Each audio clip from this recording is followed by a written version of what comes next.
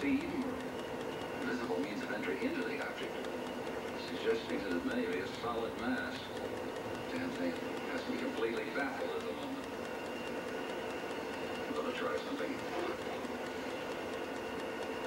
I'm going to apply hydrochloric acid to the surface of the object.